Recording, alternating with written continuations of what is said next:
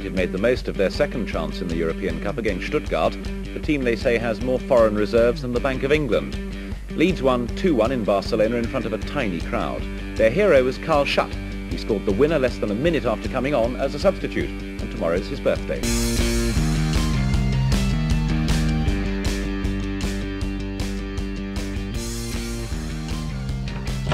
Good evening. Evening. Evening, all right. Hello. Uh, we're bring, coming live from the North Pole. If you're watching it live, you'll understand what we're on about. All sat here with massive coats See, on. People woolly say every like I've had my coat on for at least last two months.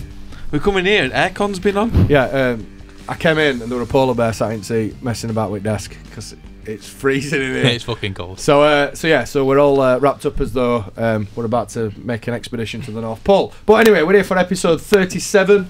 Uh, we've got a lot to get into this week, despite there only being one game this week, uh, the QPR game, uh, because we've been. Um, how can I, how can I word it? Uh, Nah, fuck it. Been slandered by um, by some other dude, so we'll get into that quite in depth a bit later on. Uh, but I think best place to start uh, over at Elland Road at the weekend, uh, a game against Queens Park Rangers. Um, I'll be honest, I was at work, I missed a large amount of it. Uh, I managed to catch the highlights and about the last 20 minutes of the game. Should have caught the first twenty minutes. That was Yeah. quite good. Go on then, enlighten me. Well, should have been three 0 up at least. yeah, at- at uh, least. I've got my notes here. Roofe should have had 10. yeah. He, he, he Mhm. likes scoring against QPR um, for definite, but from what I've seen from the highlights, he, he missed some decent chances. Would you agree? Yeah. Yeah, I wouldn't. I wouldn't say uh, missing them sort of sounds bad. We were just, I think you were just a bit unlucky. Yeah, Yeah. missed them and probably could have scored them, but more unlucky than than all else. Yeah, so they're not sitters, are they? They're just decent chances. Then. Yeah. Uh, overall, though, how did the game go? Did you know? Did we get our just just desserts what we deserved, or were it a smash and grab type job? I think it was weird, really, because we absolutely battered them for 20, 25 minutes. But then after that, we're like, they're going to score you. Because you just had that feeling. I, don't, I had that feeling. I don't know about anyone else. And But I never felt that we would lose the game. Right. It were just it were weird after that. I mean, it were a bit of a scrappy game for a bit. And then second half, we come out firing again. And pretty much put it away. Which seems to be very much us in the last few games, doesn't it? Mm. You know, qu- quiet first games, uh, first half, sorry for for our standards, and then come out second half and, and really start going at teams. Do you think that's some form of a uh, a ploy, keep it solid for 20, 30 minutes, and then look to be more expansive after I'm that? starting to think so, yeah. Yeah, I know. I mentioned it on other show that you know the only teams who've really come and give us issues have scored early and then shithoused us to death. So if we stay solid for 45 minutes, that prevents us from getting shithoused per se, Hmm. uh, and allows us to go and impose our game. So would you would you agree, Raggy? Or But we did start quite strong, yeah, um, which kind of flies in the face of that. But we just didn't put them away. Um, it was a, again, a scrappy goal to to concede, but it was bad conditions as well. yeah, it Um, was. uh, especially second half. I mean, at one And stage, the I rain mean, at it times came in sideways, crazy, yeah. um, and you're thinking, yeah, it's uh, yeah, it was a bit of a. It, it's not going to be a classic game, you know. It's not going to be one that will, uh, you know, we'll watch the kind of DVD at the end of the season and go, oh, you know, and and and. re- But it, it, the, the most important thing were three points, and it was um, we've come. I saw a stat or something. We haven't it, we haven't come back from behind, going behind to win a game at Elland Road for since like 2016 or something. really? I'm sure it was. I've not seen that. I've not seen that. I'm sure it was. Um, I'm sure someone had tweeted that um, September 2016 Stats. sticks in my head. If stats Yeah, is, it could have been yeah, that. maybe. is Um, watching. Declan Marshall's mentioned on Facebook. QPR didn't turn up in the second half, and that made us look decent. Agree or is that a bit I, I don't think QPR had much to turn up at. No, I, really? don't, I, No. I don't think they have much. No, they they had Nakhi Wells up top. Who's Nakhi Wells? He's a decent championship striker. And then Didn't they bring the human giraffe on that is Matt Smith? They did, point? yeah, that was- Shagger Matt Smith. that Mm, shh. was late. Supposedly. That was late on in first half, wasn't it? Uh, second half, sorry. But they had a lad up top. Num- their number ten were at Issei or something like academy product, and he got himself about a bit. That Yeah, the black easy. lad. Yeah, yeah, yeah. Oh, he, he did the b- most amazing skill I have ever seen. He sort of went down and then swept his foot around with ball and stood up and ran off with it. Uh, did he mean it though? He were, I think he did, yeah. Oh, I did, I did something similar in that charity match of a week. I tried to do a Cruyff turn, fell over my own feet. Luckily, it went through kids' legs or trying to Cruyff turn. And I got up and carried on playing, but I certainly didn't mean it. but defenders were just stood there like, Has that just happened? I was impressed by him. Both him and Yeah, Nakhi Wells, I thought they were good. Really? Yeah. Nakhi Wells is Nakhi Wells, isn't he? Anywhere, anywhere in and around 18 yard box, he'll do something for you, but that's probably all. He did well got. for their goal as well. Yeah, Yeah. did he? Yeah, it was a decent no, finish. It was a to good be took it fair. well. He Yeah, took it well. Um, Yeah. yeah, bit of mistake from us. Um, just a really good time to get the equaliser for Leeds. Yeah, Uh, um, right on the death because it, it looked like we were going to go in behind. Yeah, I must admit, um, I was following Phil Hay's Twitter feed because obviously I was working, as I mentioned, and um, that was my first thought when we scored just before half time. That that's the perfect time to score because suddenly Wally with the Brolly's got to change his half time team talk big time, hasn't he? Because Mm. now we're, we're, we're well back into the game and you know it's even Stevens again for the second half. Yeah, and you don't know whether that's how that's affected them mentally as well. If if, if people are saying they didn't, but I, I, it looked like there were two levels there. It Yeah. looked like we Mm. were the better side, all all told. To be to be perfectly. And yet again, we've had some more high praise from Don Goodman, our friend over at Sky Sports, who Fucking said that hell. Leeds United are the real deal. I Mm. quote: "This team are the real deal." We've been on Sky that lo- that much that he's run out of um, nasty Abuse things to say. us. Yeah. say. He's essentially had a lead season ticket, hasn't he? really. Um, Well, we're the what? Nearly halfway through. So Villa the twenty third game of the season. yeah. Yeah. So Yeah. two games off. Two games. Yeah. halfway. yeah, we've, yeah, we've played 21. and, and we're second. So if we're not the real deal, then it's, a, it's a pretty easy comment, isn't it? Yeah, yeah, it is. Is it time to start getting excited? No. Not yet. No, I, Even I though I'm trying my best I am. Yeah, like. I'm. After we'll talk about it a I'm bit later on, but away. also after seeing Leeds under 23s demolish Burnley earlier, six three with goals for uh, Patrick Bamford, Izzy Brown, and Jack Clarke. Try my hardest to keep a lid on the excitement that may start to ensue a Mm. little bit. If we get, for me, the next big test, uh, and that's not disrespecting Bolton because they push Norwich close, is Villa. That's the next big test. I- Dependent how we come out of Villa will depend on my mood in relation to carrying on. But Mm. the five point gap does make me feel a little bit warm and fuzzy inside, which is a good thing. Would you not agree? It's nice to have. Five Yeah, point gaps and and the best goal difference as well. Yeah. Although, Sorry, again, going back to our friends at Sky Sports, uh, they did say that if West Brom won last Friday, they could go back into second place. Not the best at maths, are they? Not the best, no, unless Well. there's some sort of bonus points available. Sky for you, innit? Yeah. So, anyway, yeah. Any outstanding performances against QPR? Uh, Shackleton did very well coming in as a makeshift right back. Jamie, no, No. not doing it. Not doing it. I'll Stop. fucking go. Stop. Stop. Stop. Stop. Stop, stop, stop, stop, stop. I can see the listener figures dropping down. Uh, yeah, J- uh, Jamie Shackleton again. Um, I think he was the one that people were a little bit worried about. Um, uh, we like a bit of fo- Fox outrage nowadays, don't we? In, in, in just in the world in general now, we go, get outraged at the smallest of things.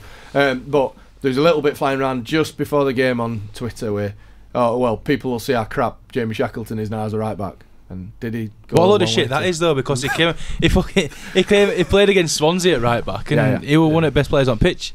Yeah. Yeah. and he played against Bolton at right back. Yeah, Against a right big guy, I can't remember, and and he was Sammy Well, it was, Ameobi. it was Sammy Sammy Ameobi, Ameobi, yeah. and he had him in his pocket. Sammy Ameobi won't be playing against us though. He got sent off, didn't he? Yeah, he did. Yeah. It was Yeah. a bit of a shit, shit, book, uh, shit second booking line, but anyway, by the by. So uh, QPR, um, I think I'll put it in the box of um, grounded out a decent result. Yeah, yeah. Would, you, would we go with that? Do you think? Um, Yeah. it defines that game, I think. Yeah, And and again, I think. Um, It shouldn't have been, but it was. yeah. But, but again, it's that thing in it, uh, the championship. It's like if you try and back an accumulator on a Saturday, you look at them and you go, "That's a shoe in," and it very rarely is. Not, Oh, yeah, no, not in the there's, championship. there's no easy games in this championship. No, there whatsoever. isn't. I mean, No. we, we're talking we're talking Bolton coming up. Um, Norwich struggled against Bolton that weekend, from what I've seen, um, to, to come away with that way a positive result. So well, they were two. Well, Norwich were two 0 up, weren't they? And then yeah, Bol- Bolton have pegged them back. yeah, yeah. Um, and then they, And then they nicked one in the last fucking minute. That team minute. on Pukki kid, weren't it? Again, Yeah, he's, he's done, again. done quite well for them this year. That lad. Oh, he scored a load. Yeah. He scored a boatload. He's got 13 already this year. Yeah, moving uh, moving on before we go. Um, we have got a little bit of uh, celebration to be had from the game. We got one of them kicks in in that 18 yard box thing that you're allowed to have a free go. What's it called again? I can't remember. You just you get one, Free shot ball. We get one player. a, a PK restart. Yeah You get one player who's allowed to just have a kick at keeper. I think. I think game is not to kick it at the keeper. Well, we though. we it taken so long for us to get one that we thought you had two players do that because there is Hernandez and Roofe Yeah, arguing both having o- a go. both Yeah. having a go. They Yeah, are yeah. a bit After arguing. watching, well, it was after, but um, when on the um, Copa Libertadores Oh, on it? Sunday night, Yeah. there were a foul in the box, and they gave an indirect free kick. I'm surprised we didn't get one of them. yeah, it's a good point. It was a foul, not obstruction. uh, but the point I'm trying to get I, to. d- I don't know what it was, but I was expecting a penalty and he got an indirect free kick, and I was sat there like, ah, fuck it, it's Argentina. I'm not going to argue. Let them do what they want. probably scared of some grenade getting thrown at Yeah, pitch or. But, um, Peter Banks, former, Peter Wanks. for, yeah, but former, you know, shithouse of the week winner, give us a penalty when, in realistic terms, from what I've seen, it probably weren't a penalty. No, but it was still Really shit. yeah, it, I, it well, was uh, uh, it was a difficult ang- where I was. It was a difficult angle to see it. Obviously, I've appealed. He was right in front of me and it was difficult to see it. Um, uh, there's one angle from from the, uh, highlights, so you can't really see Yeah, it. yeah, it's hard to see. Everyone's appealed for it. it. I've never expected us to get anything as soft as that, um, but we did. I think you have We've- to agree with um, Wally with the Brolly for this one. Because he's come out and said, um, I don't know how he's seen it because he had to see through, Through the player people, to yeah, see yeah, the yeah. handball. And he's spot on. yeah, yeah, it is. Because I don't know how. Well, I'm not being funny, but we're just we're vindicated. We don't dish shit out at week award out for just willy nilly. We Hmm. give it to people who deserve it. Just this time, it's gone in our favour. Yeah. So unfortunately, uh, Mr. Bankes, you can't be a double winner right at the moment because we've got bigger fish to fry. But the point was we're going to get back to a great tweet from Pontus uh, with their centre half who gave away the penalty, Mr. Leistner. Listener. Tony Leistner. Is that the one? With a Um, surname like that, you don't have a first like Tony, are you? do, you do you know what I found funny about that tweet? The hashtag Barry- TL37. yeah. Why? That's Wow. sad that. oh my god. TL37. It's like a bus. No, I don't know. Yeah. Bit nonsense, innit? Terry Luango. I'm just trying to think of really crap first names for really extravagant second names now. But anyway, so um, a great, a great little tweet he put out where he was having a bit of a cry. Uh, I think I gave him some stick and said, "Dry and big boy, you keep your arms down or something." And then Pontus said, "Oh, if you're a Leeds player, you'd be in prison now uh, for, for putting that tweet out." So There was also a tweet, um, sort of interaction. Was it Pontus and Klich? Click. Yeah, yeah. And um, Pontus asked where Klich were in the game, which is a very good point because first half he were nowhere. it's good though that they're having that little bit Yeah. of interactive banter. Anyway, uh, so we'll, we'll knock QPR on Ed then. Uh, so we got one of them free kick things in 18 yard box where one person's allowed to do, and um, Kemar Roofe took it aplomb. I'd also like to say we've smashed our curse to bits because we actually talked about penalty takers last week. Yeah. So we're not having Michael Normanton's claim that the square ball have cured the curse. We've cured the curse. yeah. We're having that. Cure, We've cured the curse, yeah. cure. Let's, let's taking gone. that one. Yeah. Uh, just nipping over into Facebook then. If you want to get involved, uh, particularly in the next segment, I'm sure there'll be some comments to be had. Um, a bit about Keiren Westwood. We'll talk about that a little bit later on. A bit about Bamford. We'll talk about that a bit later on. Um, I found another bit earlier that I just can't find again. Oh, is that a penguin in the corner? I think that's referencing you, Ben. Uh, Which and means how, Ben. And how cold is it in the studio? Right, I'll tell you It's how cold it is in the studio. Uh, mm, it says it's quite warm here, but that's not, that- that's not that's not what my nipples are telling me. broken. Yeah, that's not what my nipples are telling me. Anyway, so uh, moving on then. Um, there's been a little bit of um, A little bit. there's been a lot of uh, a lot of anger uh, towards some comments made by Ian Abrahams of Talksport. So for those who've not heard it, uh, we've actually got a clip of it here, so we'll play this and then we'll we'll get into it after. Now, I have to say that it's great to see Norwich back towards the- the top of the championship, or on top of the championship, and looking to get back in the Premier League. But my argument today is that it will be bad for English football if Norwich get promoted, and indeed Leeds, but certainly Norwich get promoted. Not, All right, and let me come on, let- Smurfs. Let's uh, let's hear you. Come on. right. Daniel Farke was brought in, I believe, at Norwich to try and copy what was done at Huddersfield, where of course David Wagner came in and got them promoted. And he came into English football largely because Jurgen Klopp came in at Liverpool and was seen as being a- a shining light, i.e., German coaches are the way forward. Well, lining up behind Daniel Farke's Norwich and, and obviously Bielsa and Leeds are Chris Wilder, English coach at Sheffield United, Darren Moore, English Mega coach money. at West Brom, Frank Lampard, English Mega money. coach at Derby, Dean Smith, English coach Mega at money at Villa. um, Aston Villa, and also Tony Pulis, an English coach. Uh, he's actually. Welsh. And the only way we're going to get more English coaches into the Premier League, we only have four right now. Five. Eddie Howe, Sean Idiot. Dyche, Roy Hodgson, and uh, obviously we have um, our friend Neil Warnock about down Chris? Cardiff. We only have four. The only way we're going to get English coaches into the Premier League Anyway, I've had enough of listening to his droning on voice. So, uh, basically, what he's getting at is that because there's no English managers in the Premier League, if us and Norwich were to get promoted with both Marcelo Bielsa and uh, Daniel Farquhar of Shrek, uh, getting promoted to the Premier League, that would take up two positions. His that- voice fits into the Shrek he- film as that well. he believes- he has got a weird uh, voice. that he believes that they should. Does he sound um, like one of the pigs? It's it's very Wagner-esque. You I'm like not- it's, I'm- like, it's I'm not doing my Wagner impression. Ah. We'll we'll find a we'll find a clip, but back to the original point. Um, so he's basically saying that by them two taking up um, two spots in the Premier League that should be open to English managers. So I'm gonna oh, uh, yeah English or Welsh because he forgot purely so we're actually Welsh. The- Well, if we're being give him technical, British. Right, We'll British. British. if Yeah. we're being technical, Darren Moore's Jamaican. all right, okay. Well, let's not get bogged down in that. But anyway, so over to you, Ben. First, what's your opinion on this? Keep it clean. It's, it's just obscene. Right, okay, that's a good start. It's obscene, Obscene's that a good is. start. I I just I don't understand what his point is. I mean, th- right? So there's no British managers in the Pro. Five British managers in the Premier League. If there was the British managers that are there have earned the right to be there. Mm. Eddie Howe's done amazing things at Bolton. Yeah. Dyche, Bolton. Bolton. Bolton, Bolton, Bournemouth. Bournemouth. he had to go at Burnley as well. All the bees. Well, oh, that's it. With with Eddie Howe, would that work anywhere else? It's not worked at Burnley. I think he fits at Bournemouth well the- with how the club is, what's the size of the club, and his relationship to that club. It works well. Mm. So there's you can't sort of say you can't pick a sort of English manager and put him in a team and say you're going to be good because it Be- just don't work like that, does it? No.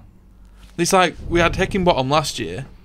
Heckingbottom had six months to prove himself that he was a good coach. What did we get? Fuck all. Okay. Nothing. Let's let- Absolutely nothing. well, Th- let- no, We'll let we'll let Ben simmer a bit because I feel that it's like a good wine. If we let No, him mature a bit, let, let me just finish on go Heckingbottom. On If he'd have taken something out of that last however many games he had and He'd have got said a. And, and got the point where you can say we can't sack him because he's done well, because Bielsa's come in with the same players, and look at us now. There, there was a comment on, by one of our guests talking about the sacking of Heckingbottom and said they thought that he could he'd come in and the club had changed direction from going from a continental approach to a young British coach, bringing in. Um, bringing through like the academy players, bringing through the British, and giving youth a chance, and letting him, and he didn't get enough time to do that. Marcelo Bielsa has done more for our academy players in the first He's done more for the whole in, club. in in the 21 ga- 21 league games that he's done than Heckingbottom did in the games that he he got. How many did he get? 16, games 16 or, about that. or whatever. He two, just two wins in sixteen. What? It yeah, what? like? Two wins in Two 16. wins in sixteen. I thought it was Just four. check. I thought it was four. By the by, Irrelevance. Yeah. He threw 11 players on one Saturday, 11 player a, a different set of players the next next It was week. like Sunday League. Just He go, was go put play, play- football for two hours, lads. exactly. It just he, he had no he had no idea. And the thing is, the the prospect of what Eckingbottom potentially was going to bring in, Oliver McBurnie, fair dues, he's had a decent season at Swansea, and a year done. We hadn't done anything at Reading. No. So if we if we use them two names, would them two have come in and revolutionised this side? No. No. Bielsa's come in and brought Barry Douglas in Mm-hmm. and revolutionised this side Yeah. right? So, I, I know I mentioned it earlier, and coming back to like the point, there's a there's a bigger argument to be had here, and my bigger argument is this: we're suffering with a lack of English coaches due to the FA's incompetence back in the 90s. Mhm. They tried to copy the Dutch sort of football DNA, if you like. It mm-hmm. didn't work. So then we tried to copy the Germans. That didn't work either. Then we had to go copying the Spanish. That didn't work either. So due to that reason, the coaches that were coming through at that time were sort of either having to pave their own way or were getting drowned out with everything else that's going on. Mm. P- pair that with the massive influx of millions and billions into the Premier League, generally brought in by foreign owners who are then going to look around and go, right, who's been the most successful? Right, at this time it was a Dutch manager, at this time it was a German manager, whatever, blah, blah, blah.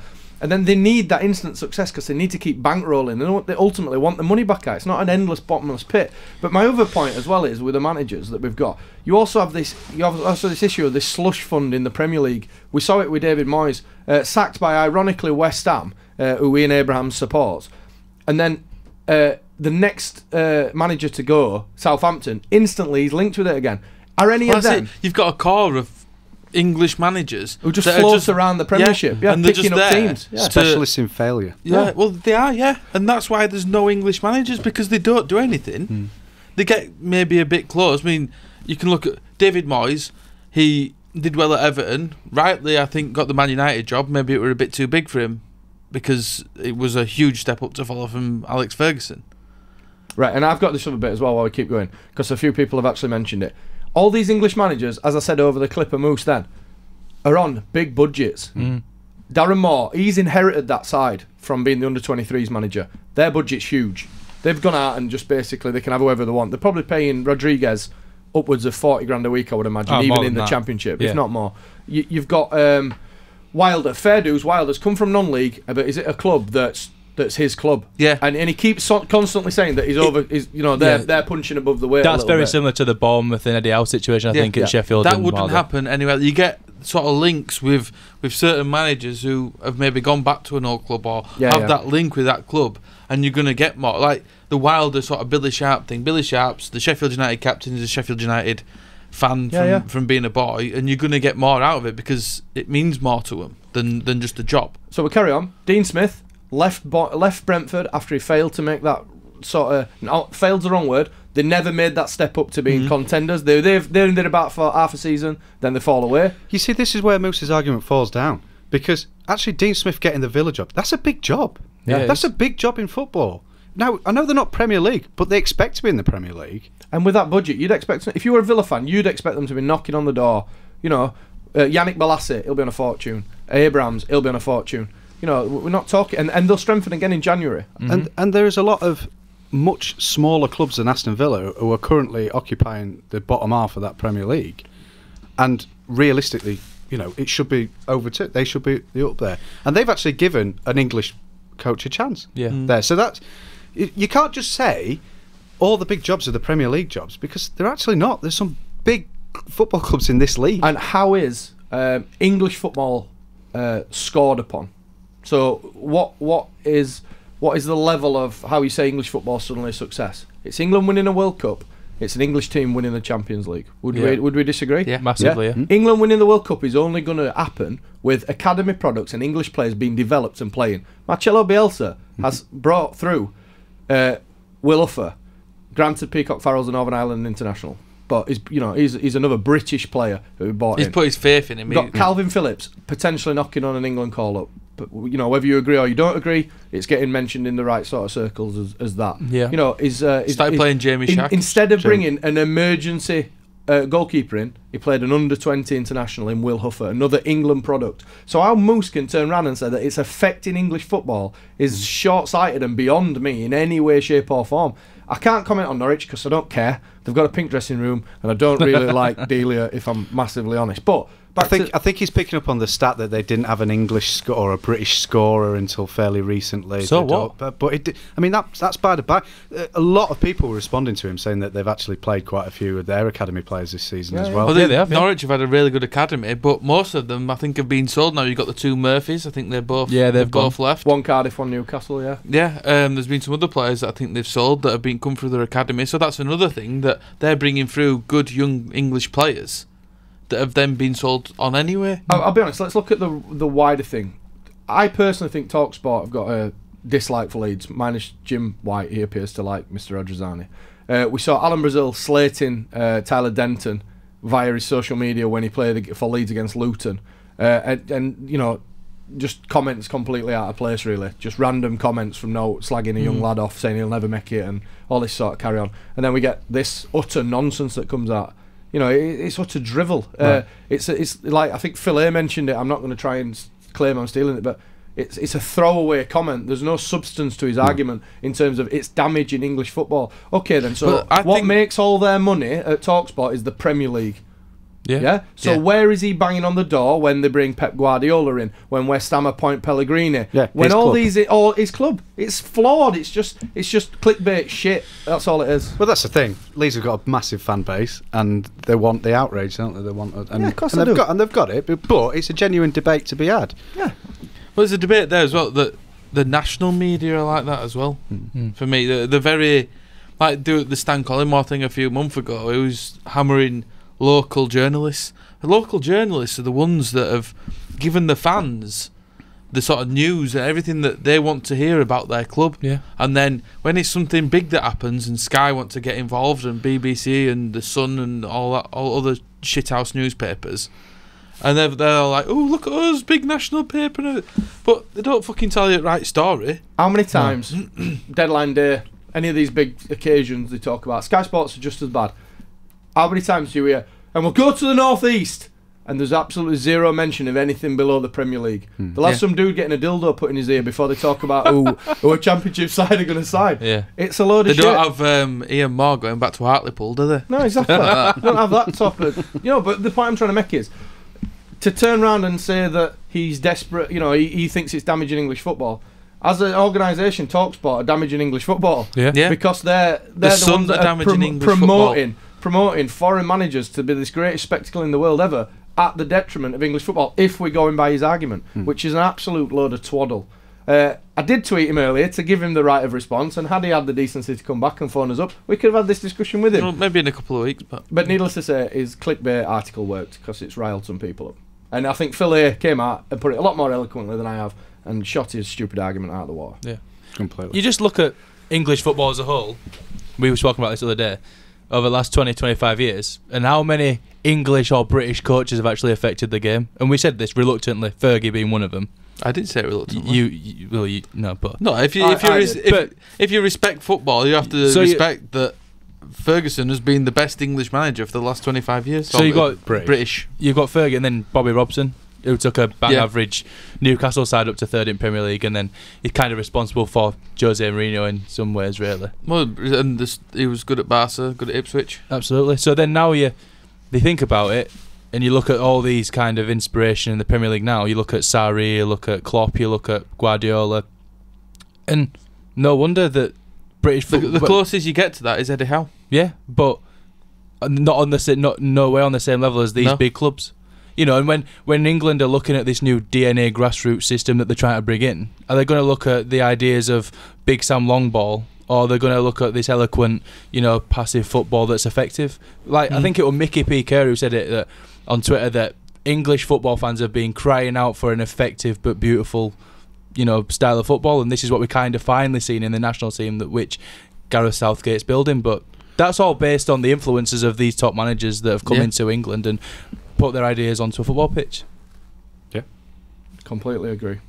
And to no disrespect to Gareth Southgate, but before this stint at the as an England manager, he wouldn't have got a top four job. No, No, He, No. wouldn't, he wouldn't have got any of those jobs he that were, were a, coming he, up. he were a youth, he were a youth manager, wasn't he, in Yeah. England? I think It- So- as that well, that so- kind of fell as a happy accident, Just- and he and that's not nothing against the job he's done because he's done absolutely oh yeah, wonderfully well. Yeah.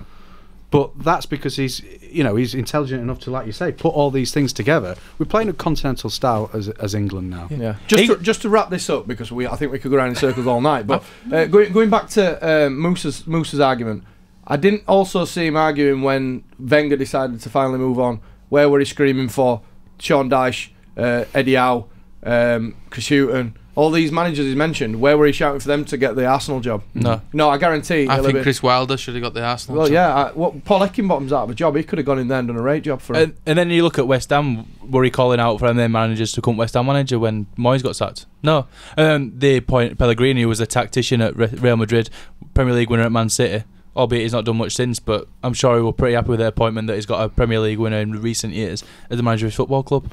So, like you said, irrelevant. yeah. So I think we can all agree. It's just a clickbait article that's trying to get a rise. think, yeah, he sums it up there. He, Pellegrini's a Premier League winner. The last English Premier League winner was 26 Howard, Howard Wilkinson, Yeah. 20, Six years ago. 26 years ago. So that says straight away English managers aren't good enough because of They're not. the culture of English football. And we're being shown by foreigners how to play better football. And we've seen it here this year that and, and we've discussed about it. The, the question we keep asking: Would you rather watch Bielsa and and not go up, or Pulis and go up? Yeah. And I'm I'm Bielsa and being entertained all day long. I think Rick Kerr, uh, friend of Mickey, I think, on uh, Facebook, anything that happens in England can only benefit England in football terms. If we've got the best players, etc., and the best managers managing it, it can only be good for the sport in England. Absolutely. I completely agree. Massively. Moose, you had your opportunity to come on and give us it, so and you could have received this at the same time. the week. So you have absolutely unanimously, despite the Twitter poll that we put out, won shithouse of the week. Congratulations. You shithouse. And we got to get Shit. promoted just to rub it in your Yeah. face. Yeah. And, may And when it s- comes my- to Leeds, first game of the season next year when we're in Premier League, I hope James Mooney stands at door and goes, "Fuck off." You're not allowed in here. James, if you're listening, Sorry. because we know you are. if you could make that happen, that'd be great. anyway, uh, moving on ever so slightly, being uh, we're coming towards silly season that is January, where we start getting linked with players, uh, and some of the more spurious links start appearing as well. Uh, Abdel Taarabt is the latest one. I f- somehow cannot see Abdel Taarabt fitting into Marcelo Bielsa's thing, way of doing things. He's not been playing at Benfica though. He's not been playing. Yeah, but uh, I don't, the thing is, I don't think it's that. I think he's a complete wrong un, and they've had no but problems with him in every English club he's ever been in, and I just don't think it fits Oh, in. Neil Warnock got a lot out of him. I Yeah, thought, but- well, Yeah, but I don't think what? Will not. Yeah. I Alright, don't think uh, Neil used Warnock would have made him Tarabut. train. Yeah, he's good at good Uh, at mispronouncing names. When, Warnock, when I isn't he? saw Adel Taarabt like being linked, all I could think of was Neil Warnock going Tarabut. I'll play Tarabut and he'll just run around. That's what he'll say. Tarabut. Tarabut. Tarabut. Sounds like a frog. Oh dear. Raggy, I think you might be in for a rollicking when you get home. Why? I'll let you read that comment off your wife. Your three-year-old has just been listening before bed and said "shit house." Nice one. Amelia, you're not allowed to use that word. oh dear. Brilliant. Anyway, so the latest names to be linked is uh, Keiren Is that Westwood. Raggy up for shit house at week next yeah, week? yeah, he's won it. Um, so, uh, latest name, Keiren Westwood, uh, Sheffield Wednesday goalkeeper, not played since 2017 for Sheffield Wednesday due to, I believe, contract wranglings. Um, thoughts on that one, boys? Experienced Um, keeper? uh, experienced, talented. Um, Irish. The fact that he's not played, uh, I don't know. And yeah, if there's question marks about attitude, if it's all about contracts, I don't know. Uh, that side of it, we we need a keeper. Yeah, I I don't think he's going to be brought in to be number one though. Is he? He's going to be brought in to be a Because we have the BPF. a mentor to Bailey Peacock Do, Farrell. do, do. Sorry. Bailey what I was saying, Peacock I've lost it. He's, Um, yeah, he's going to be brought in to be a mentor and there if we need him. But if he's leaving Sheffield Wednesday because he can't play uh, over contract wranglings, is he going to really want to come here and then be told, right, you're going to sit behind this Hmm. 21 year old and it's up to you to displace him? But that's where, yeah, that's where it's hard, isn't Mm. it? Because w- w- what do we go for? Because if we want the experience and the mentoring, I mean, how experienced can you get? I mean, how old is Uh, he? Uh, 34. I had a look this morning. 34. I mean, I mean, it's you, you you would still expect to get. I mean, I don't know what he's like, you know, in in terms of physical condition, but you'd ex- still expect to be getting a f- good few years out of your yeah, career. yeah. Yeah, absolutely. But Friedel Um, was still 40, weren't he? Friedel playing at 40, I think. Mm. Just Yeah, as, well, a, as yeah. a yardstick there. Um, So it's a difficult one. But you don't. You also don't want to necessarily go down the the route that we went beginning of the season and get a you know a, a younger keeper in. mm, um, so how are we going to do it? I another name linked is Karl Darlow from Yeah. Newcastle. Now, um, He's someone who could probably go in as number one. yes, and uh, you can And that's see. what, for me, that's where it'll have to be. Either someone who's going to go in as number one or not bother. Uh, but the thing is, as well, for me, it's one of them where we have to look on a bit. You know, Karl Darlow, if he if he was to come in, um, could do a job in this league. Did a job for Newcastle in the Premier League, so you can see a bit of natural, Mm. and you can also see him and Peacock Farrell fighting. You know, Mm. challenging each other and pushing each other on a little bit. Whereas Westwood comes in at 34, he's going to want to play week in week out. And if we do get to the promised land, which we might. Is he good enough to step, make that step up to Premier League? I don't know. He's never played there. I'm not sure. He's 34. Yeah. I don't know. It's, it's you know, we're op- we're open to your ideas really on uh, on Facebook if you wanna if you wanna um, give us your opinion on it. Did see a spurious link to a young lad um, in Portugal called Leo, young goalkeeper from I can't remember what I can't remember what they call actually R- Rio Ave. Rio Ave. Yeah, Rio Ave. Right. Yeah, but he's, Bueno. he's on loan at he's on loan at Gremio until the end of the season, so I'm not sure. Right? Might be um, mm, I don't know. It might be an under twenty three. I'm not sure. I mean, who is te- who's technically our third keeper if we bring a second keeper? There's Harrison Kamil Mayo. Miazek. Yeah. Yeah, we've we've got a few youngsters there, so you won't imagine they'd bring him in unless they don't think they're going to make it. I don't know. Um, Adam Wiseman, Tom Heaton. No. I personally think Tom Heaton will go Took somewhere a pasting where- today. where Didn't he, Burnley Joe? where he'll play In Burnley, where he'll play for big money. Uh, is, is my honest opinion. He'll be on big wages at Burnley, England international, and he would, for me, want to go somewhere where they'll pay his wages. in He's full. got Villa written all over him. Yeah, I think he has to be Yeah. honest. I think he'll go to Villa in January. Mm. Yeah, I, th- I think that's the that's the link in it, and their their goalkeeper does look quite soft. Yeah, very soft. Yeah, from what you guys were saying earlier, not good. Uh, over on Facebook, Steve Millard, uh, Gaz, who would your number one English player signing in January? Who would make a big difference at Leeds? Harry Kane. Well, yeah. yeah, yeah, it's there. Um, I, I Uh, don't know. James Milner. James Milner, yeah. Yeah. James, James, 500 games. Well done, James. Salah gave him the when I had the match. It Yeah, did. he did. On He did. He did. Good effort. So yeah, they're the two. Milestone. They're the two names amongst Adel Taarabt, Jermaine Lens, uh, and a few other spurious links that we've heard. That um, Spanish lad did some other Ibai. day, didn't he? kick ups. There's some Really kick ups on kick-ups. pitch. Yeah. Oh, well done. Saw that. Uh, the more and more I look into that, more and more I can't see that one happening. I think that'd be a bit of money getting splashed around there, and I'm Yeah. not Yeah. sure Leeds will. Not sure Leeds will spend big in January, if at all. If I'm No. honest. That's Do- my honest feeling. Just every time we need to someone to come in, we just the youth are coming in and they're stepping up. Yeah, yeah. We don't- Jamie Shack- Sorry. Um, no, you're right. Uh, it just appears at the moment. I mean, Aapo Halme. I've been mega impressed with him. I mean, he looks like he looks like a mass murderer behind his eyes. There's not much there. He's a bit like Pablo He Hernandez. controlled the ball. Yeah, And uh, he came on and he had Matt Smith in front of him. I don't know how he did it, but ball were like Uh, that's Jedi mind trick. That yeah, well he just sort of attached to his foot from like midair. looks like Kylo Ren off uh, Star Wars. Yeah, it does. For those that are interested. It does actually. my- I think it looks He- like he Joe were like Lycett some- for the, the some comedian. Who? Someone had put that on Twitter and I thought that was a bad I think on, it yeah, Michael Joe, Norman put it on actually. Joe, yeah, Joe Lycett. It was Right. a spitting image of him. Anyway, so now Um, we've done talking talking about what our young players look like. No, but I mean, again, they brought on Matt Smith. Obviously, we're, we're two and up at that stage, and you think, oh, they're going to start lumping it long, and and like you say, The referee helped him with that. yeah, it yeah, does. He gives so many free kicks just on the halfway line because he knew that they were just going to hit it up to Matt Smith. Well, that's what he did for, uh, for Birmingham as well. Yeah. When, when he when he refed against Birmingham, he gave every soft free kick possible in good areas for them. But what we, you know, we and Bielsa just changed it, and Bielsa went, well, we'll just We'll mark bring- him up, we'll with, bring, and we'll bring uh, on Halmer. Halm, and Is yeah, it Halm or Halmer? Hal- A Halmer? Halmer? Halmer, Halmer. probably. If you're listening, Finnish. Aapo, in between creating the Death Star, but give us a ring and uh, tell us what it is. Uh, so yeah, uh, yeah. At a minute, there's a bit of a feeling like, all right, well, everybody's crocked. I'm not mentioning no names because the curse exists. Uh, everybody's exists. crocked. We'll just nip into under 16s and bring some some child in. Yeah. yeah. Yeah. Just he can take afternoon off and he can come in. Um, Steve Millard, Milner's a great shout. I think uh, I still think Wilshere would be a game changer for you guys. yeah, it would, mate. But wow, his wages would be ridiculous. and He's on a- and he's injured again. Where's he Yeah. play now? West Ham. There was Ir- one question.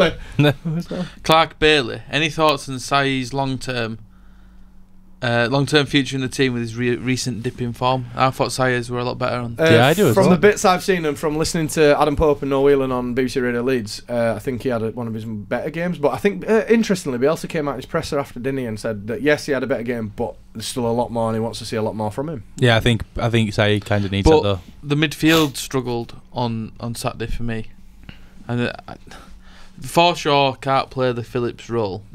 No, I think what he does, he does Really well, like- but it's not Phillips, is it? I don't know. It, it I runs thought about. Forshaw was good though.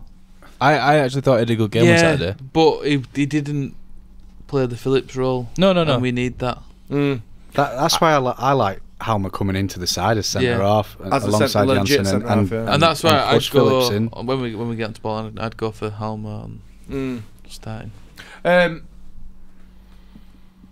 I've completely lost my train of thought. It'll come back. to Oh, going back to about going back to transfers. Oh. Uh, I saw a spurious link on Sunday that uh, West Bromwich Albion may have been interested in Kalvin Phillips. Oh, from Uh, Mr. Alan Nixon. Yeah, Alan Nixon, uh, the ever reliable, throw enough shit at the wall and some will stick. Um, Um, I'm sure they are. I'm sure they're very interested. Nice. I'm I sure don't, I don't most think they're going to get championship him. sides uh, you're not you're not having him. Yeah. I'm sure they can fuck off. The thing is, as well, uh, going back to it, Kalvin Phillips would potentially bring a massive fee now because there's nobody else like him. Hmm. He's no longer just a no, just a central midfielder. He's a specialist. central He's a. Kalvin Phillips. He's a Kalvin Phillips. Yeah. Nobody else like him. Plays so. the Kalvin Phillips role. So yeah, so that's another spurious link. Um, however, going back to players, uh, today we've seen this, the under 23s demolish Burnley uh, six three. Uh, I think it was a bit of a to and fro game. I was following it via Twitter because I First had half me. were a Uh, bit boring. was it you followed Yeah. you watching? Well, I was sort of working at the same time, but yeah, I don't think we were great first half. And then it goes off Facebook, and you have to go on app, and next thing I see goals flying in for fun. Yeah, well, just going back to this from last week. Uh, what the good thing is in injury terms is we're now seeing Patrick Bamford and Izzy Brown both get through 90 minutes. Mhm. So you know we've still we've got left in casualty. Um, Luke Ayling, Ayling, Gaetano but he's back Berardi, running. Dallas. Dallas, Cooper, uh, every bugger. Uh, but at least we got them two back. I mean, Mhm. I think Paddy Bamford do a decent job at right back. um, He's got the height. But no, uh, can, he- the thing is, uh, joking apart, he can only start bringing more confidence. And I mean, you look at Kemar Roofe now. You you know today he'll be like, oh, Patrick Bamford got an hat trick against an Eng- England Yeah, but goalkeeper no today. one's touching Kemar Roofe right now. No, no, no, No, not at all. But it's a good thing. We saw Kemar Yeah. Roofe and Patrick Bamford early in the season having a bit of a chat before a game, and you know it looks like there's a genuinely good relationship there where they'll push each other to try and you know be better. And I don't think Bamford will Bamford will know. He seems like a clever kid. He'll know full well that he ain't going to dislodge Kemar Roofe. But if he's working in the wings, you know, scoring hat tricks for the under 23s, he's banging on the door, isn't he? The first time Roofe, you know, I'm, I daren't say the words, but he has an off game or something else happens where he can't run or out. Um, then you know you've got you've got Patrick Bamford there. But you've got options. That's the thing. Yeah. and and he is a, he's a different type of player to Roofe as well. And if it isn't working out, then you, you've got him to bring on. Yeah. currently. Yeah, there's a bit of debate going on on uh, social media about uh, Alioski. Thoughts on Alioski at the weekend, guys? Obviously, I went there. A bit better. I mean, it lasted more than 45 minutes, so it must have been better. Yeah, I mean, he still didn't offer It's still a bit huge frustrating. amounts going forward. Yeah. Um, yeah, I I was surprised he lasted the full ninety. To be honest, I'll, I'll still go back to my original point. I didn't catch the game in its entirety on Saturday. I still want more out of him in the attacking third. I don't doubt his defensive work. I don't doubt his effort. I'm, you know, that not that's not in question. But for a team that's striving for promotion, we need more in the final third, and we need players like him to provide it. It's. I think I, I might have said it last week. It's like he's trying not to be offside now, and it's just affecting his game. Mm. I'd love him to do a full Kemar Roofe, Liam Cooper job and come back and ram it right down our Mm. throats, and you know have a second half of season to die for. Maybe he will. Maybe he won't as, as well. Just a chill. No, but you never know. Yeah, I hope we he said, does. all of us were saying in summer would sell Roofe to Reading for seven million, and look at him now. Yeah, Steve You won't Millard. sell him for seventy. Steve Millard again chucks me out. Oliver Watkins at um, Brentford was a potential signing. The one who dived. Oh, I was diving. to say he's a Yeah. good diver. Yeah. He's a decent player, to be fair. Yeah. Anyway, so we best move on to uh, Raggy's predictor and see uh, how we all managed to not get on again, other than the guest on a weekend. Raggy's predictor. Um, well, all of us, including um, including the guest, um, went for a Leeds victory. No one said two one, so no one got full points. Um, so we all pick up just one point. So it still means Mickey PK's guest of the week is out ahead on thirty, uh, followed by Young Ben on twenty one, Yeah. myself on twenty, Gaz on nineteen. And Oh, God. old Ben still bring up the rear. I'm on having a mare. 18. I'm having a mare at the minute. Marathon, not a sprint. you keep saying that. Till end of season. We're not even halfway there yet. Keep saying that. So, um, obviously, just one uh, prediction to go for this week, which is uh, the upcoming game against Bolton at the weekend. Interesting stat: they haven't won since September. Bolton. Oh God. Yeah. Probably the last time they Oh played. God. Probably the last time they played one of those, players as well. Everything points to a Leeds win. Everything. nil Bolton. Yeah, yeah, Yeah. yeah. Um, so our um, our guest this week um, wa- is uh, is Joe was producing the show today. Burnley fan. Joe. Burnley Joe. Six three. and he's gone 3 1 leads. Um, so, what say you, young Ben? 2 1 leads. 2 1. Ben. One nil Bolton. Fuck that. Get in the bin. Okay. Get in the Are you being serious? Yeah, I'm going to go with that. 1 0 Wow. Bolton. Okay. Gary. I really need to pull something back here. That's my thoughts. I'm going 3 0 leads. W- There's got to be one at some point. We've got to dick somebody at some point. Yeah, we do. Should Um, dick QPR. Yeah, yeah, true. Um, I'm going 3 1. I'm doing that. Uh, 3 1 leads. That's 3 1 leads. Um, so, yeah. So, Ben uh, going against Leeds. That's fine. Rick Kerr, son of Mickey, has gone 4 1 leads. We're due to hammer someone. I have to agree. I think we're due to hammer someone. But I daren't, I don't stick my neck out of line and say we're going to hammer someone. Because we, we probably won't. We're going to win. I'm It- just it- going against it for. Just. Um, Shits and giggles. I mean, going against it to be generally awkward. I mean, they've gone to Norwich. They've gone two 0 down, and they've got character to bring it back. And then, but how much is that last minute you know, gold. Took out of them, yeah. The It's fact going to that- take it out of them. The fact that Christmas is coming up and they're going to have to visit a soup kitchen because none of them have been paid since probably February or something stupid. Yeah, there'll be a bit of that as well, I would imagine. And no Sammy Ameobi has been probably their better player. of their better players. yeah. Yeah. Uh, Lee Cox says 4 0 Saturday. Time to smash someone. Momentum going into Villa. So so. That'll be massive. Absolutely. Um, Strachan James Britton. What? Yep. Bolton are a team we should be beating by a big margin, but we thought that about Reading, Ipswich, QPR. Yeah, no Hmm. easy games in this league. We've already mentioned it. There's every chance Ben's prediction could come true. to be fair. Um, anyway, so that's uh, Raggy's predictor. Um, charity signal. While we're talking about uh, Mickey P. Kerr, uh, the guys from um, Fat Chance podcast released their charity single on the 13th of this month. All uh, proceeds go into um, the Forget Me Not Foundation. So um, I think it. if you listen to uh, Ryan Wilson's show in the morning, LS11 from 7:30, uh, you, they're going to play a full um, a full run through of it. In Full time. rendition. A full rendition in ready ready in time. So uh, give that a listen. But more importantly, on 13, download it. Even if you don't like it, uh, which I don't know why you won't. Just give Uh, it a quid to it's charity. quality. It's a quid to charity, innit? So it's 99p. So, so cop, cop for that if you like. Uh, just nip it over on Facebook then before we go. Uh, Dave Player, a 4 0 massacre. 82% possession to save our backline's legs for the Christmas stretch. He's put also listening in from Dallas, Texas. All leads, aren't we? Wow. Good effort. Great Dallas. stuff. Um, Strachan James Britton has come on uh, to uh, announce his name. Uh, named after Gordon, if you were wondering. I thought you were named after Michaela. Good effort. Good effort. um, Sarah McKeevy, uh, ap- apologies for pronouncing your name wrong. Uh, a professional 1 0 Leeds win. Uh, Adam Coombs, 5 0 Leeds. Um, I hope so, but I don't know. I'm scared. Um, Mitchell Emerson, uh, talk of Wes Foderingham up at Rangers coming in as a goalkeeper. No. I'm led to believe that that's a lot of toffee. Shit. That's not happening. You can't dis- dislodge 83 year old Alan McGregor. He ain't going to come down and make us any better for me. um, so, no. Uh, Dilip has gone 2 1 leads again. So, a few people believing that we're going to spank somebody, and a few fair few people were uh, concerned about our welfare with how cold it is in here. Uh, so there's quite a few people saying how cold in there. Let's start a fundraiser to get the thermostat working. I don't think again. as much as it's cold out. It's cold outside as well. There's a song in of there somewhere. They're not allowed to sing it. No, it's there's Folks Outrage again about Yeah. that. You can't because it lyrics in it. No. Can't sing Baby It's Cold Outside. Uh, Ed McIntyre, 3 1 leads. Philip Million, Hope Bamford makes an appearance. Yeah, um, I fully expect Bamford and Izzy Brown probably finding their way on the bench at, um, on s- Sir Saturday. I thought we might see, might have seen Bamford on um, on Saturday against whoever we just played at QPR. QPR. them in Yeah. the hoops. Um, just go a few more uh, predictions. Jake Howard Marshall, 2 1 leads. Uh, Joe Wayman, Binky, no.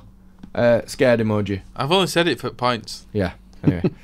uh, T- talking of charity and that, uh, great efforts by raising money at the food bank on Saturday. yeah, the, Yeah, well, Uh, the equivalent of Supporters something like yeah. 3,000 meals. yeah. that's good. Uh, which at this time of year, obviously those who need it, that's uh, that's great effort from all the Leeds fans. So uh, Ed, Ed, well Ed- done. there's, a, there's a bit of a dig at my head. Um, Ed McIntyre, to be fair, if you grow hair, you'll be warmer. Uh, He's got no choice in only that. problem is, Ed, yeah, uh, I'm kind of follically challenged and I have no other choice. This is kind of it. Uh, Adam Wiseman, can take the heater with him to Monaco. Don't give a shit where he's took it or what he's doing as long as he's not here anymore. Goal 3 in the Leeds. Dave, play a question for the next episode. Who's going to be the next player currently on the Leeds roster to get a call up to the England squad? Kalvin, Kalvin Phillips. Phillips. Jamie. Jack, Jack, Jack. Da, da, da. Uh, I'd- yeah. Uh, Maybe. Yeah, that's all I'm going with. Uh, Kalvin resign. Phillips. I think probably before end of the season. you think, think- so? I do actually think he'll get named in a squad before end of the season. If he stays fit. Mm. I, Well, I think he'd probably suit how England want Oh, to play hundred percent. as well. So yeah, maybe because I, I can't see players like Livermore and Huddlestone being able to do Fucking that. Jake Livermore in England's squad. Well, That yeah, would bleed. exactly. Did you say Huddlestone as well? Yeah. Oh dear. Well, uh, is there any other defensive midfielders like that that are going to be in England's squad? Well, Dier. he plays Dier. Eric doesn't? Dier. Eric was Dier. Mm. Mm. Uh, Nazgul, are you lot presenting an igloo? All wrapped Yep. up. Um, I'll be honest, I have warmed up now, but uh, if I start doing this, it's a little bit unprofessional, so I've just like kind of left my coat on. But uh, it was cold when we first got in here. So yeah, um, so the charity single going back to the um, Fat Chance guys, uh, give it a listen, give it a download. You know, 99p going to an amazing charity, so do that. Uh, Lucas Broadbent's gone for nil nil. Interestingly, I can't see that. uh, it won't be interesting if mm, it's no. nil nil. No, it, there'll be an absolute. There'll be a you know some form of mutiny if there's a if it's a nil nil. Um, Lee Cox, shit out of the week impending when we lose one 0 To be fair, if we do, we'll just give him a one show ban if we lose one 0 You're not allowed. All on. right. You're not allowed to play art for a show for going against Leeds. I'm only kidding. Did you really just say uh, if he stays fit, curse? Oh God, I did, didn't I? oh God, no. Can I take it back? Uh, how many points from the next four games will Leeds get? That's Um, an interesting one. So what we got? We got Bolton, we got Villa, Hull. Bolton, Villa, Hull. Hull. and then Forest. and For- then Forest. No, no, no, no. Blackburn. Blackburn. Bolton. Villa. Blackburn. Hull. No. Blackburn's on Boxing Day, isn't it? I shall. no, you're right, My you're right. calendar. We got a box. Yeah, I am right. you are right. If So- Atlas is listening, I am right. yeah, you are. Uh, Bolton, Villa, So I reckon. Right. Blackburn, Hull. yeah. Ten points. I'm going to say ten points. I tell you what, if we got ten points, I'll be over the moon. I'm going 10. I'm going 10 with Ben. I think a win, a draw, and then two oh wins. shit, I can't help but feel we're cursing stuff again here. Let's not ask this question. Ten would be fantastic. Rick Kerr, son of Mickey, uh, all 12. Nah, Well, can't. Nah. Big bollocks. The, Villa's the one that you're sort of thinking. Ed McIntyre says 11. 10 rather. I'm so wondering where 11 will come from. Yeah, Villa. yeah, uh, it might be Sky making them uh, making them, uh, them maths. um, yeah, Villa's the sort of game that you're thinking is going to be sort of the closest. You, the other ones, you I don't really want to say this, but you'd expect us to win. You've just gone Oh, one nil for Bolton. sake, we- Yeah, that's Declan Marshall's gone for nine points. Um, so yeah, well, I think we'll just have to lose to Villa, but win the others. Uh, Lucas Broadbent, after an easy run, the next six games are brutal. Derby, Stoke, Norwich, Borough, and Swansea. Yeah, they are brutal. Yeah, but but but Stoke at the moment not pulling any we trees battered up. Stoke, we battered Norwich, Derby. we battered them. Borough, land of the giants, kick it at their head, but they've dropped off a little bit. Yeah, they have. Swansea, to be fair, I thought one of the better sides we played this year down there. They're a bit um, hot and cold, aren't they? Hot and cold. Um, I don't fear anybody anymore. No, I, I wouldn't say I fear anyone. I just there's some hard, hard harder games. We we need to start playing better by the time we get to them Hmm. teams. Mm. Suddenly, them six games, win your own games, draw your away We're games. saying this, and Yeah, we just yeah. won four hundred I pounds. agree. Well, I know, I know where you're coming from, but we have won It's four the hundred pounds. pessimism in isn't And it? You know yeah. I mean, It's natural, isn't it? after Bolton and Villa, we've played everyone once, Mm. and bear, bear, if we get two results in the next two games, we've been soundly beaten once this season I agree. West Brom. against West Brom, Yeah. um, and we've been on the end of two Shithoused. shithoused Mm. uh, defeats as well. Yeah. I mean that that's that would be an unbelievable stat.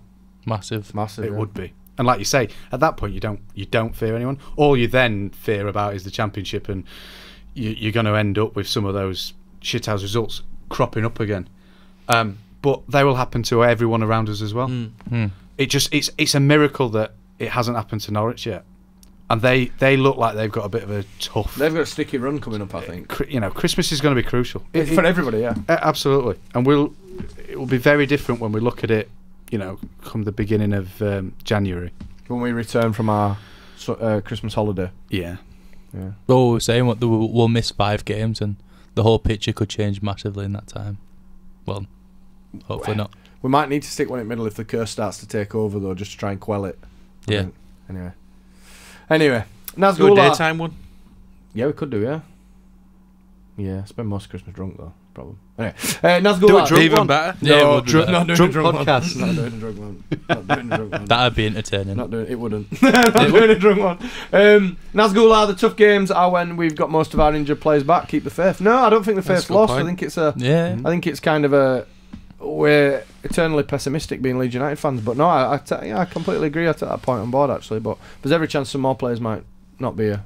That's just the way. It Well, that's the thing. You just it? don't know. Like we're talking about that that tough running.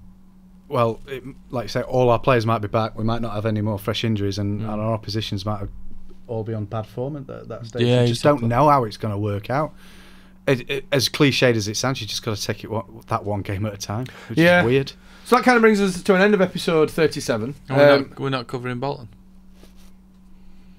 Well, Oh, we we we just kind of did.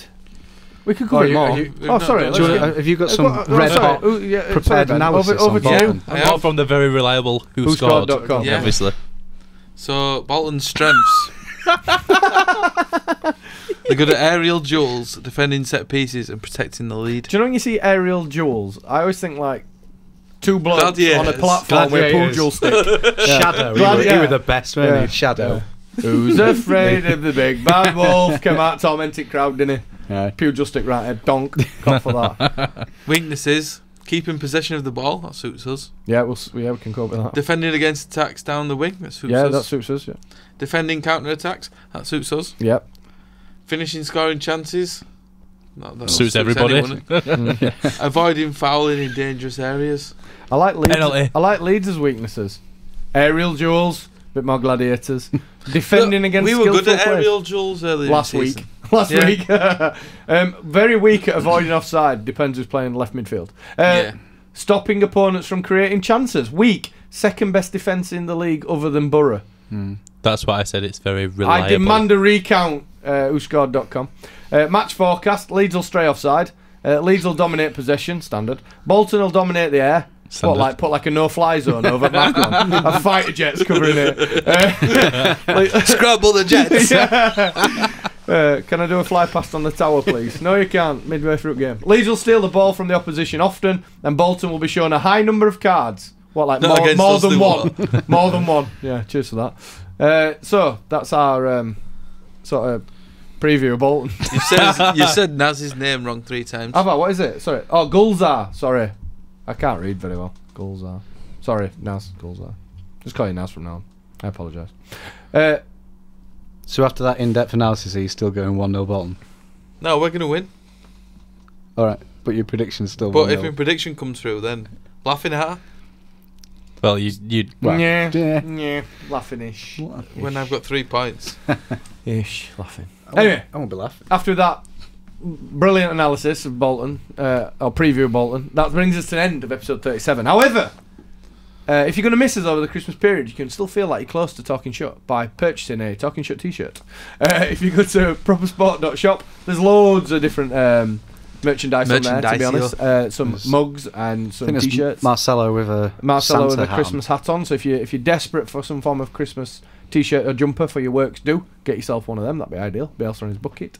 Um, so yeah, nip over there and uh, have a look what's going on there. There's some uh, six late debate stuff. Some I think there might even be some fat chance stuff on there now as well. So, so there's a fair bit going. So get over there and uh, and have a look. But that does bring us to the end. Obviously we were meant to have David Norris on tonight, but uh, very selfishly signed for another club between the last show and this show, and they're playing away tonight, I believe. Uh, he's signed for Lancaster Town. Oh, he's not in Champions League. Uh. Oh, Ah, playing right. for Lancaster Ah. Town. So uh, good luck to him up there. And, and next week we did have the uh, under the Cosh guys, but again they can't do it anymore now. I think they're on the Christmas do. So um, if we manage to get somebody snared by next week, we'll have somebody on. If not, then we won't. I might be here, might not. Why? Where are you going? Fearful of death or no, what? it's just You mine. Have you got another pantomime? Not pantomime. No. Nativity play. No. How was that, by the way? Yeah, I played back end of a donkey. I was, we're told didn't have face foot front end, so back end. Is it hard to coordinate front end and back end? It is actually. Is yeah. it? Mm. I would imagine it would be. Don't like talking about it really. Like I said, don't have face foot front end at donkey. Mm. Yeah. Anyway, that brings us to the end of that. but no, thanks to everybody who's listened. And uh, again, like I said last week, everybody who um, has a chat with us, because Facebook's been alive with much debate today over the um, Ian Abrams Facebook's stuff. been good today. Yeah, it has actually. Um, Twitter, it's always nice to hear from you. So, uh, and uh, my favourite is YouTube because people always put uh, great show, or sometimes they put shit, but um, they put where they're listening. That's just me. That's just Ben, is it? uh, and, and we do literally get them everywhere. Um, so if you do message us, just tell us where you're listening because it's. Int- I'd like to make, knock up a world heat map of where people listen to Talking Shop from. That'd be ideal. Um, Sean Metcalf, Lancaster City are not very good, he says. So that's enough for that. Anyway, uh, so again, thanks very much for listening. Make sure you share, like, review, whatever else you don't want to do that Ben normally tells me what it is. Anyway, Share, like, review, retweet, whatever. He played jingle bells on the way out as well. Yeah, hold on, we find it. Uh, we'll go for that, and we'll go for that. No, he's put the one up as well.